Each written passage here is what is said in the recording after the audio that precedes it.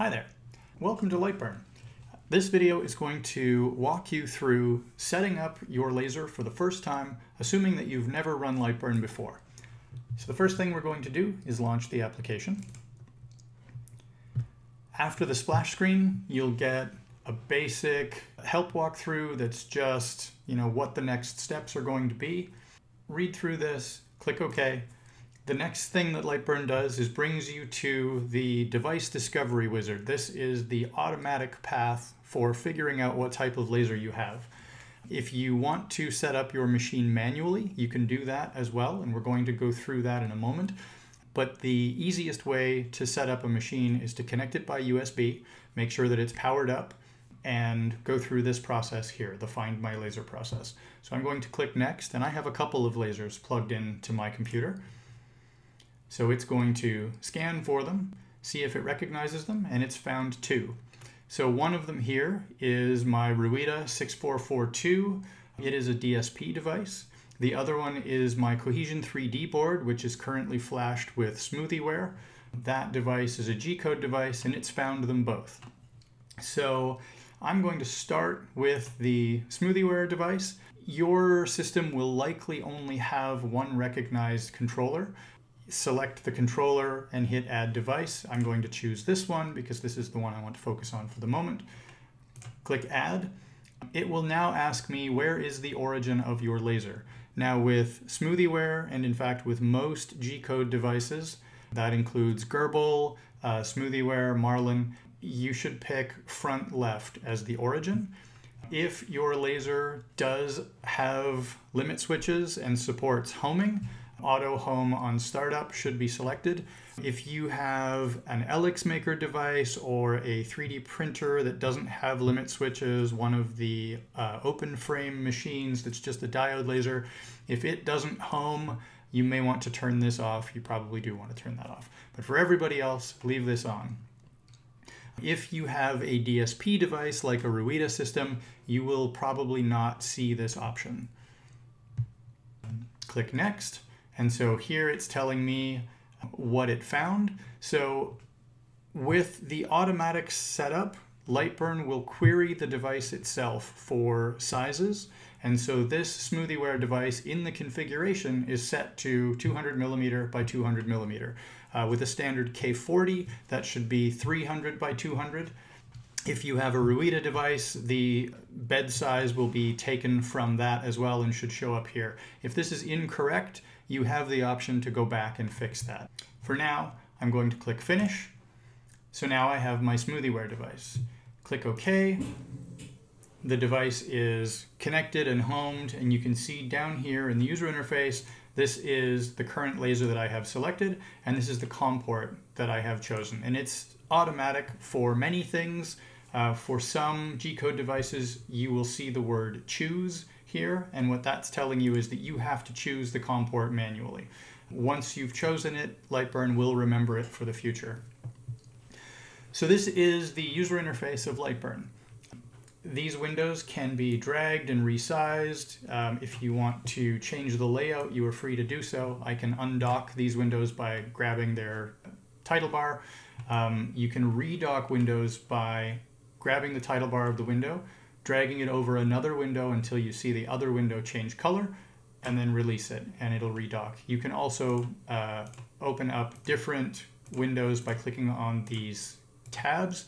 You can move the tabs around if you want the tabs in a different order.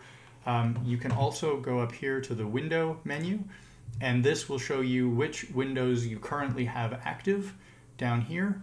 And I can select these to turn windows off and on. If you, for example, ever lose your cut palette window, the palette along the bottom there, if you can't find it, go back here, make sure that is enabled.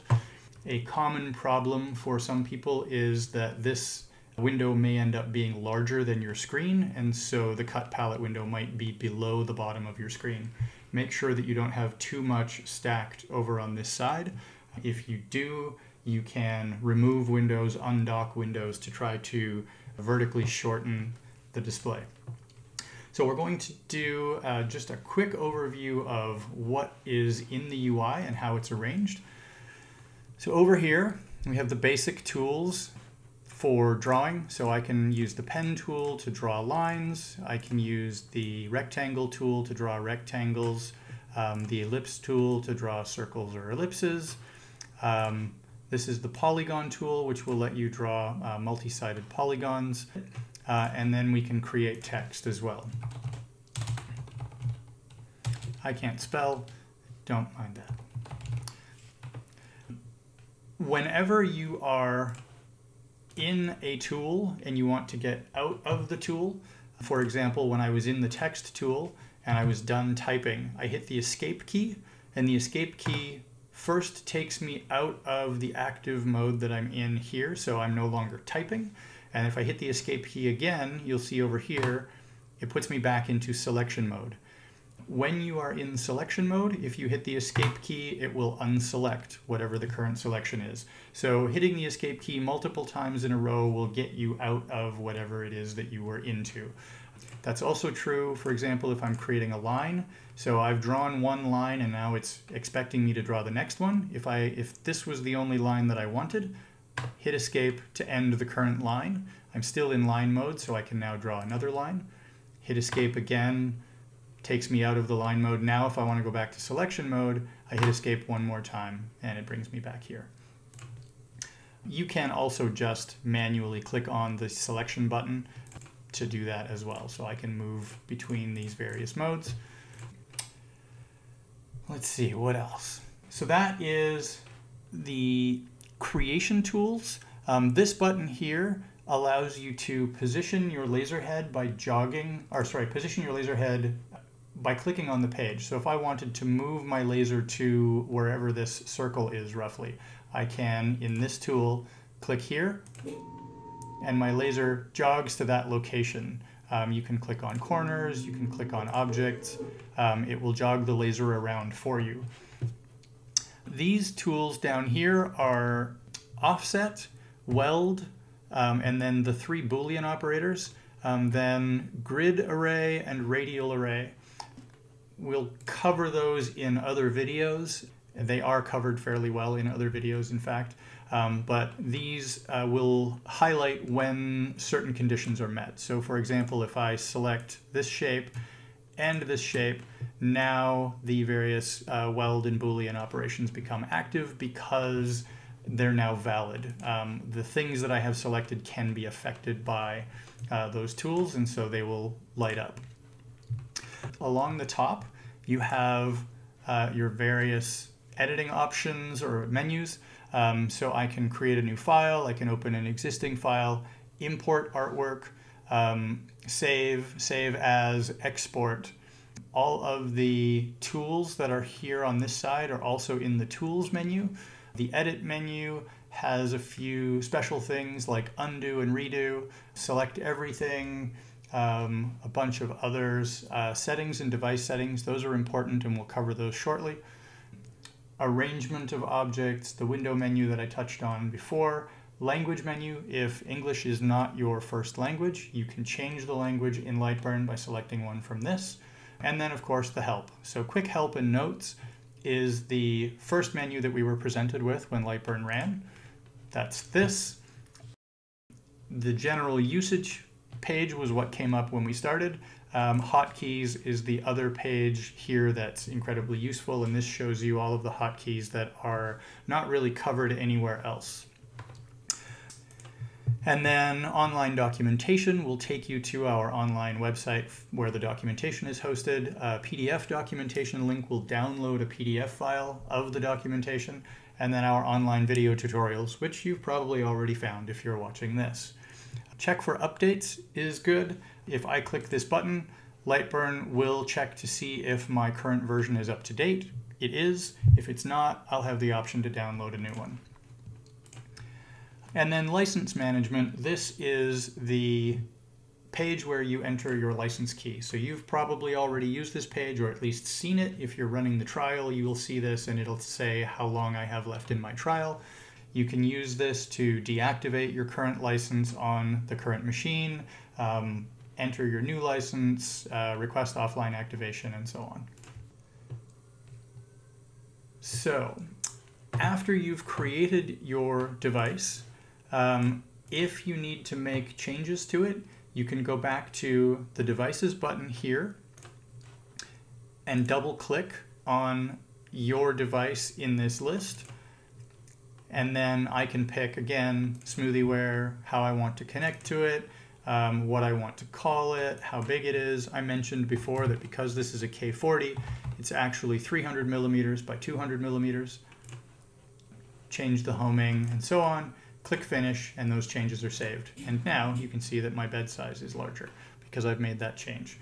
You can also do a decent amount of that up here by going into the device settings. So if I click on this, I can again change my width and height, origin, and a bunch of other settings that are specific to the device that I've chosen. If you have a Marlin based system, you will have the option to change the baud rate here. You also have options that are specific to how Lightburn works. For example, if I want it to run through white space when I'm engraving images quickly, um, I can change this to specify a speed for which it will traverse through that white space. The laser fire button, this is something that is useful for people who have a diode laser that want to turn the laser on at low power so they get a visible beam for focusing. If you have a CO2 laser, your beam is invisible. Do not use this feature, it is very dangerous. And then the return to finish position. This toggle and this setting lets you specify where you want the laser to move to when you've finished a job. So after engraving through these objects, um, Lightburn will send my laser back to this position. I can turn it off, which means that the laser will just stay wherever it finished. Or I can turn this on and I can enter a value here where I want the laser head to go when it's done. That is the very, very brief Cliff Notes version of the Lightburn UI. And setting up your device, uh, we'll cover a little bit more in other videos. Thanks for watching.